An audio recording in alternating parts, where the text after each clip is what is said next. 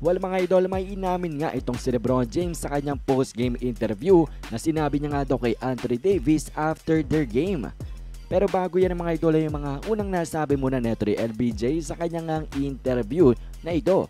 Una muna sinabi ni Lebron James kung bakit nga daw sila nanalo laban sa Phoenix Suns kahit grabe ang performance ng kanilang second unit kahit wala nga si KD, CP3, Booker at si Aiton.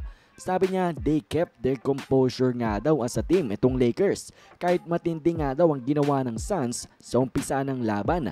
Sabi ni James mga idol na they made shots nga daw down the stretch na sinamahan pa nga raw na nakakuha sila ng mga defensive stops na nag-enable nga daw sa kanila na lumayo na sa Phoenix this game. Well, kung napanood nyo yung laban ng mga idol, first to the first 4 minutes ng fourth quarter ay parang Phoenix yang may hawak ng laban. Pero sa uli ay nag-pull away na nga ang team ng Lakers dahil sa kanilang sumikip na depensa at matinding opensa sa panguna nga ni D'Angelo Russell.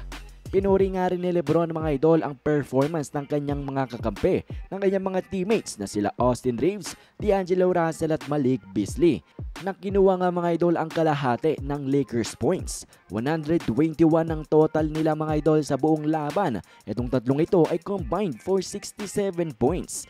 So talagang binuwat nga nila itong Lakers offense.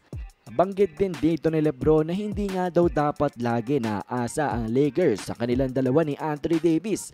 Kaya naman daw maganda itong ginawa ng tatlong Lakers teammate niya to keep the defense at bay daw. To keep the defense honest at hindi palaging silang dalawa ni Anthony Davis ang pinupuntirya. Dahil ngayon ay may tulong na nga itong duo ng Lakers. At sa pagpapatuloy nga ng interview ni Lebron na he is looking forward nga daw na makapagpahinga sa kinabukasan dahil sobrang pagod nga daw siya. At kitang kita natin yan mga idol sa performance nito ni LBJ ngayon. Talagang low energy siya matapos ng kanyang buwas performance laban niya sa LA Clippers. At dahil nga rin daw mga idol sabi ni Lebron na naglaro nga daw itong team ng Los Angeles Lakers ng 6 games in the last 10 days. Kaya naman daw pagod na pagod siya at ang kanyang mga teammates. At sa pag-amin nga neto ni Lebron James mga idol ng kanilang naging conversation ni Anthony Davis after this game ay sinabi niya nga na grabe nga daw. Hindi daw siya makapaniwala na after mag-start ng Lakers ng 2 to 10 na record ay makaka-finish pa nga daw sila ng above 500 sa standings. Tinanong niya nga daw itong si AD Can you believe we're going to finish the season above 500? Kahit matapos nga raw ng mga nangyari sa Lakers team sa umpisa ng season hanggang ngayon sa pagtatapos.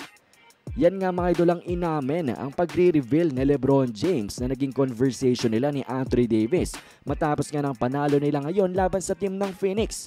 Pareha silang hindi makapaniwala mga idol na ang Lakers ay above 500 ngayon sa standings with a 42 and 39 record after nga na sila mag-start ng 2 wins and 10 record at panghuli nga sila ata mga idol pang number 14 sa West noon at ngayon ay nasa 7 seed na sila with a chance na umangat pa nga sa 6 seed. At mga idol, sa interview nga rin ito ni Lebron James ay hindi pa rin napigilan ng kanyang mga teammates na mag-ingay nga at goat noises na naman. And this time, hindi na napigilan ni Lebron James na matawa. Panoorin natin to mga idol.